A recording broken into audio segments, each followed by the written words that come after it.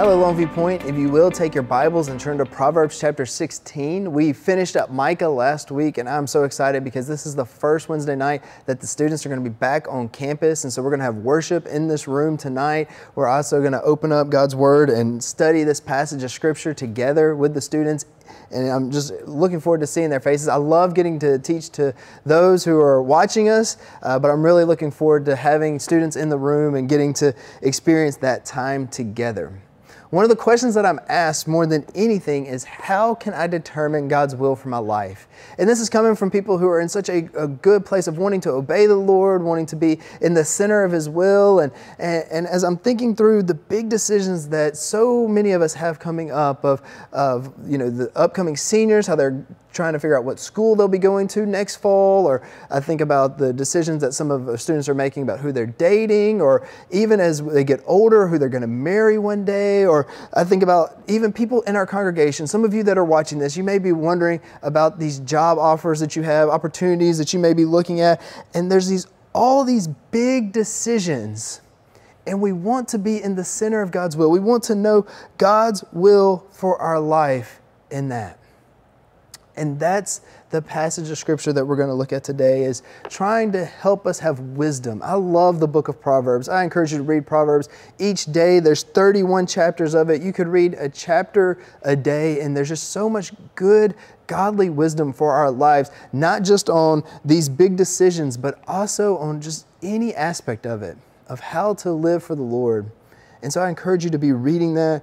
But tonight we're going to look at Proverbs 16, verses 1 through 9. And we're just going to look at how that impacts us as we make these decisions to, to live our lives for Christ. So hopefully you're there, and we're in Proverbs 16. We'll start in verse 1. The plans of the heart belong to man, but the answer of the tongue is from the Lord. All the ways of a man are pure in his own eyes, but the Lord weighs the spirit. Commit your work to the Lord, and your plans will be established. The Lord has made everything for its purpose even the wicked for the day of trouble. Everyone who is arrogant in heart is an abomination to the Lord. Be assured he will not go unpunished. By steadfast love and faithfulness, iniquity is atoned for, and by the fear of the Lord, one turns away from evil. When a man's ways please the Lord, he makes even his enemies to be at peace with him. Better is a little with righteousness than great revenues with injustice. And then the heart of man plans his way, but the Lord establishes his steps. So, like most of the Proverbs from chapter 10 to 31, this is a little bit choppy because they're just short, truthful statements that are, are general principles that we can apply to our lives. And, and here we are looking at the wisdom of plans and doing the will of the Lord. As we make decisions, we all want this big bright sign, don't we? We want the sign that just has an arrow pointing down of go to this school, or we want a sign that you know is pointing down of marry this person, or we want to know exactly what it is or it, that God has for us. Or maybe we kind of open up our Bibles, find a page, stick our finger down, and say, "Oh, well, these are the signs," and and that tells us what we're supposed to do as well. But those are not healthy ways to seek after the will of the Lord. That's not the way that He intended us to walk through this life. But instead, we as believers, He's been very clear about what His will is. And that's to be walking and trusting Him. To be walking with Him in even the most small things and having that impact the big things that we do, the big decisions that we make. He even tells us here in verse 1 the plans of the heart belong to man, but the answer of the tongue, the words of our mouth, is from the Lord. Verse 9 is another one that drives us home. The heart of man plans his way, but the Lord establishes his steps. And so, as we're looking at how do we determine the will of God, I think that there's an important thing that we have to hold on to first and foremost, and that is that we trust the Lord, that we trust Him in His sovereignty, and that we trust Him in His goodness, and that we trust Him that He is working even when we don't see it. Why is it important to trust him in his sovereignty? Verse 9, like I said, the heart of the man plans his way, but the Lord establishes his steps. You see, there is nothing that we can do that is going to change what God has for our lives. He is sovereign, He knows every part of our future. There, there's no decision that we make that the Lord is sitting there going, Oh no, I can't believe they made that decision. No, He knows the decisions that we make long before we were ever even born. And that should give us this great assurance that, that God knows our steps. That as we are walking this life, as we are taking the path that the life has, has given us, and, and we face these options of this school or that school or, or anything else, this job or that job, God knows how you're going to decide. We can have assurance that He knows our paths long before we ever walk them. See, that gives me peace. That gives me assurance because I realize that I'm not in control. I have the responsibility of making those choices and, and seeking to be wise in those choices, but yet God knows my steps. There's also assurance that He loves and He cares for us. And, and I think about Him as our Heavenly Father, and I bring this up so much because of the beauty of that picture, how incredible it is that He is the perfect Heavenly Father. Matthew chapter 7, verse 11, he talks about how we, being earthly fathers who are evil, you know, our, our goodness is nothing compared to his goodness, and yet we still know to give our kids good gifts. We still know to do what's best for our kids, and yet he says, I'm perfect and holy, and so I know even better what a good gift is. Our Heavenly Father cares for us. I think about us as fathers. Um, and how our kids could want things sometimes, and yet even the, the act of withholding something from our kids can be loving. They may not see that at the time, they may not understand it, but yet we know that we're protecting them or we're doing it for their own good. So even as God tells us no sometimes to things that we're praying for, things that we're asking for, God is telling us no because He cares for us and He loves us. It may be even that you are asking Him and praying for two different things. You have this option here, you have this option there, and you're saying, Lord, I want either one of these two things. But He knows that both of those things are wrong for you, and He has something different. And so, as a loving Heavenly Father, He tells you no to both of those things. And we continue to walk with Him and trust Him and know the heart of the Lord because it's been revealed to us. I also think that not only do we have assurance that He is sovereign and He knows our future, not only do we have assurance that He is good and loving and cares for us, but we also have assurance that He's working even when we don't realize it. He's working in ways that we cannot see because here He is, sovereign over all, like we talked about, and He's working in all these details to, to make our past walk along with Him. We can trust in Him in that. We can be assured of that. How do I know that? I think we see that in Genesis with the story of Joseph. Uh, just an incredible story, but, but Joseph is there and he has this dream and he knows it's a divine vision that one day his brothers are going to bow down to him. So he has this plan in place that he's going to become in authority over his brothers. But look at the path that it takes to get there. Look at how so many things happen along the way, and they wouldn't have been according to Joseph's plan, and he wouldn't see how God was working in those things, but yet God was moving in incredible ways. So here's Joseph. He has the dream. He tells his brothers about the dream, and then they get angry and jealous and they throw him into a pit. Not only do they throw him into a pit, they sell him into slavery. And then he's in slavery long enough in Potiphar's house to where he becomes the, the second in command of the house. That's not a, a real quick event. That's not something that Potiphar just gives him the trust right away. You have to think about the time that's taking place as Joseph is serving in Potiphar's house. Well, then he gets arrested, he's thrown into a prison, he interprets the dreams there, but he's in prison long enough that they forget about him in prison the time that takes place from Joseph's dream to the time that he's pulled out of prison and is at the right hand of Pharaoh is not a short amount of time. But throughout that entire process, God is working. He's refining Joseph. I think about 1 Thessalonians 4 3 that talks about how God is working for our salvation, how He's for our sanctification, how He's called us to holiness. Well, here He is working in Joseph's life, preparing him for the position that he is going to take.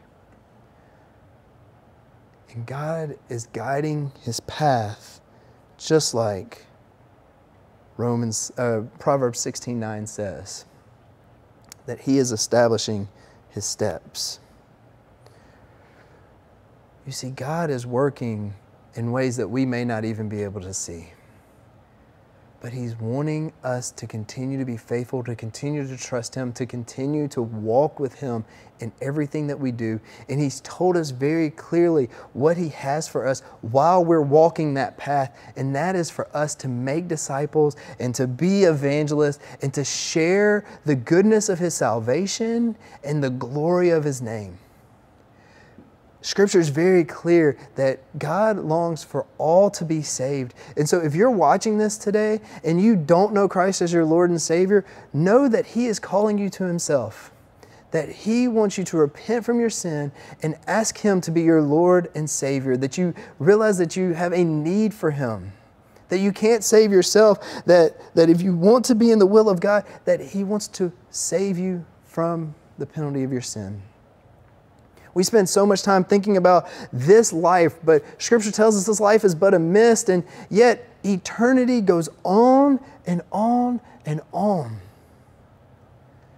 And so we want to plan for eternity by having a relationship, a right relationship with the Lord. To know Him, to love Him, to trust Him. And if you are a believer, if you are a follower of Christ, then realize that He is calling you to be an ambassador, a missionary, a representative of Him right here, right now, right where you are. It doesn't matter what these big decisions are that you have coming down the road. No, He wants you to be faithful with the, the gifts that He's given you, with the talents that He's given you, with the situation that He has put you in. See, that's the incredible thing. God is just so creative. He's made every single one of us different. He's given us different interests, He's given us different talents, He's given us different skills, and yet He brings us together as part of His kingdom, part of the body of Christ, and He wants to use us for His kingdom and His glory. He's given us each people around us that He's called us to, to make disciples of, to evangelize, to, to share. And, you may not be one to, to stand up in front of a camera and do a Bible study, or you're not one to stand in front of a group of people and preach, but yet God has given you specific gifts, talents, abilities, people, and situations. That to be in the center of His will is to be telling them of His salvation, His goodness, His grace, and His glory. So, to trust the Lord we need to be doing this in everyday circumstances, not just coming to Him with big things, but in every single day, every decision that we're making, just be walking with the Lord. Just to have that relationship with Him and being obedient to what He's called us to do. See, that's the, that's the big picture. That's what He's called us to. That's the, the path that He has for us. And it's clear because it's revealed in His Word. Make disciples. Tell others of his glory. How beautiful are the feet of those who bring good news. I came across a quote as I was preparing for this that, that simply says, There is no ideal place to serve God except where He has set you down. So be faithful right where you are, even if you have these future things that are coming up, these future decisions and questions. Be faithful where you are. So, what are some practical steps as we are seeking to make those decisions on how we can live this out? One, we are still called to make plans. You look at verse 1, it says, The plans of the heart belong to man, but the answer of the tongue is from the Lord. We are still called to make plans. It's not that we are completely um, not responsible for the decisions that we make. We want to take action steps to help us to achieve the goals that, that God has given us, the desires of our heart that line up with Him as we delight in Him, right? Uh, Psalm 37 4. So we want to walk with Him and make plans. The way that we do that is to saturate our lives with God's Word and with prayer. We have the revealed will of God right here in our hands. That He tells us exactly what He wants from us. And so, if we are facing these big decisions, then our lives need to be marked with just so much more time in God's Word.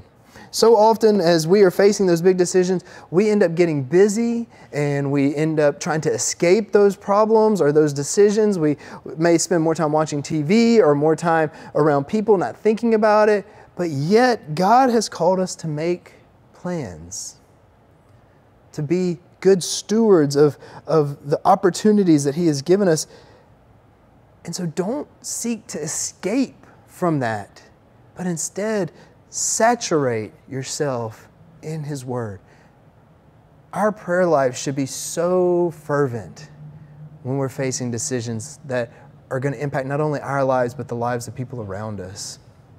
I think about the college years and how so many college students are, are spending their college years rebellious against God. They're choosing to live for themselves, choosing to do whatever it is that they want to do, um, and it's destructive. But yet, during those five to six years, they are making some of the biggest decisions of their lives.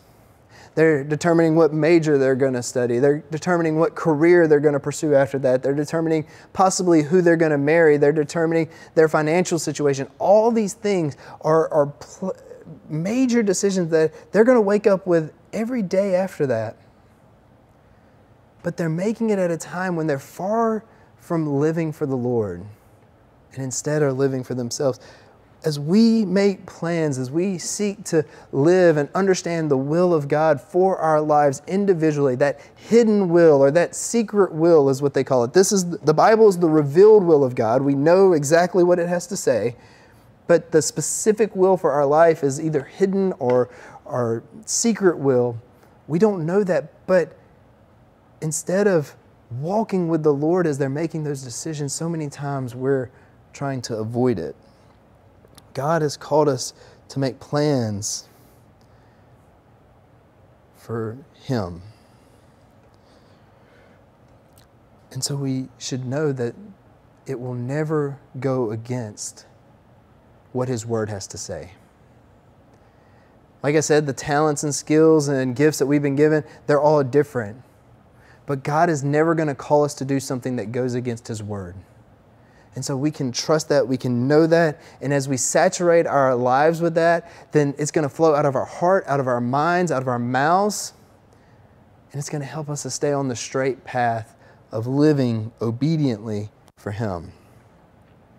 Another thing that we can do is we can seek godly counsel. As you look over Proverbs chapter 12, just a couple of pages over, uh, chapter 12, verse 15, it says this.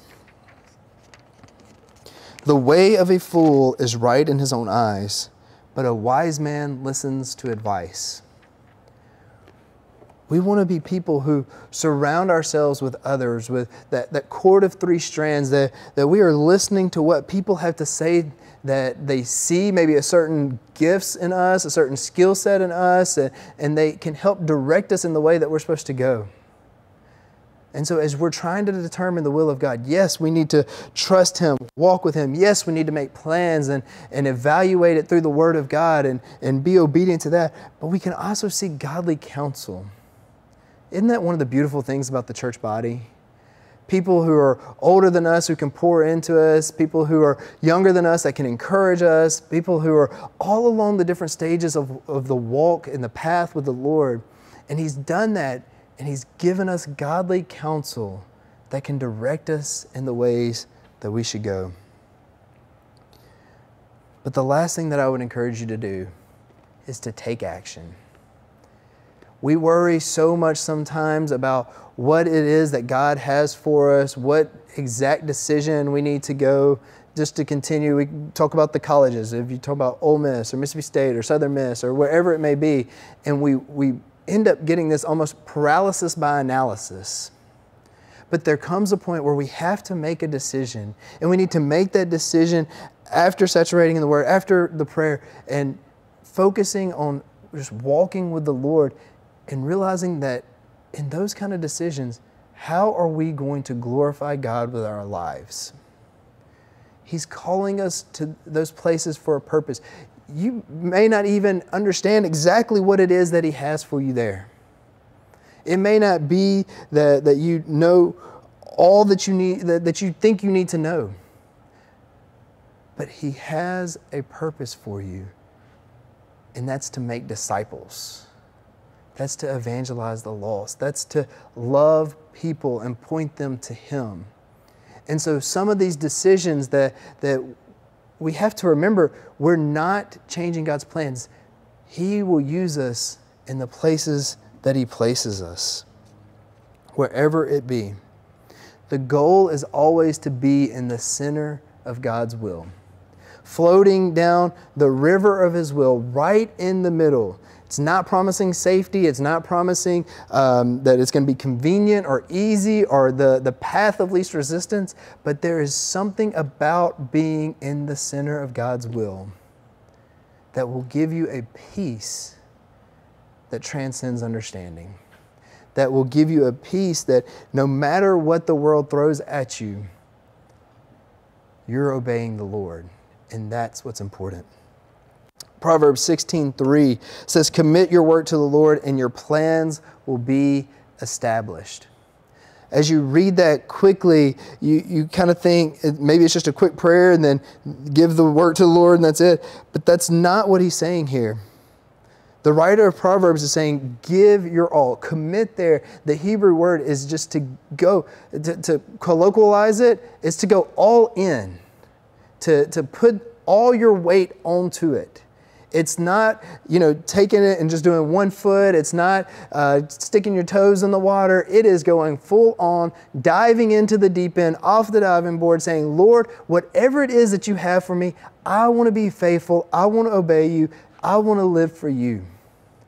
And so, wherever that may be, whatever it may be that you have me doing, I am all in. My yes is on the table. And I want to make disciples and be an evangelist for you wherever you put me, whatever you have me doing, whoever you surround me with. Help me to see them with your eyes and care for them the way that you do. So, like I said, I encourage you to read Proverbs and understand the beauty of the sovereignty of God how He is marking our paths, that we can trust Him, and that He's called us to do all kind of a variety of different uh, jobs, a variety of different uh, locations, a variety, of, so many different things. And He's called us to those places with those gifts, with those talents for His glory. To share the good news, to abide in Him trusting Him, and making much of His name. So, my point for tonight in order to know God's will for your life, walk with Him daily and make disciples. I can't wait to see how God is going to use each of us to further His kingdom across the street and around the world. I always like to end with questions for you just to keep you thinking through things. My questions for tonight one, what are some of the biggest decisions that you've made in your life? Parents, I know uh, that your students would love to hear about how God walked you through some of those big decisions in your life. Take that time and, and tell them how uh, God has done those things. Number two, have you ever been like Joseph where you're able to look back and see how God worked and brought you to where you are when you didn't realize it when you're in the midst of it all? It's a long question, but what I'm saying there is maybe you didn't know God was working, and yet you got to a certain point and you were able to look back and see that His hand was guiding you the whole time. What an incredible opportunity to share of God's faithfulness with the people that are around you.